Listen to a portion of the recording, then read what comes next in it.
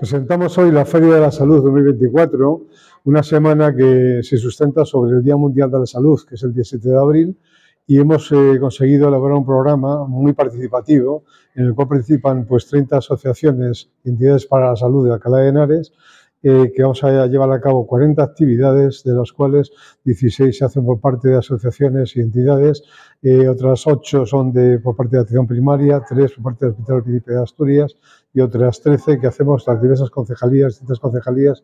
dentro de de Henares. Se caracteriza este, este tipo de, de evento por su participación y lo que pretendemos es dar la máxima difusión, la máxima participación ciudadana y, lógicamente, a partir del día siguiente, a partir de mañana, seguir dando continuidad a estas actividades eh, durante todo el año, eh, durante el resto del año, siempre, siempre con la participación de todos por parte del Ayuntamiento de Alcalá de Henares.